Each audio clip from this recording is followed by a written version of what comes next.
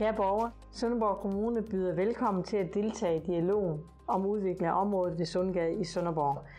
Vi har fået lavet noget, der kaldes en story map. Det er en digital kanal, hvor du som borger kan gå ind med dine idéer, bemærkninger, kommentarer og viden om Sundgade.